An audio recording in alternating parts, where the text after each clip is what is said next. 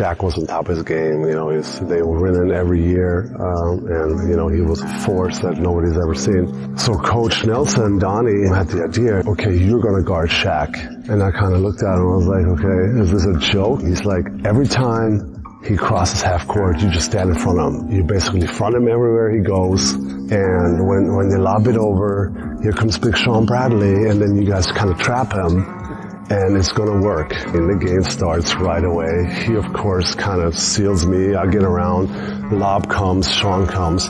He basically elbows us both out of the way and dunks it as hard as he could. And next time around, same thing. So, of course, the plan didn't work at all. We were both way too skinny to handle him. He ended up having like 46 points.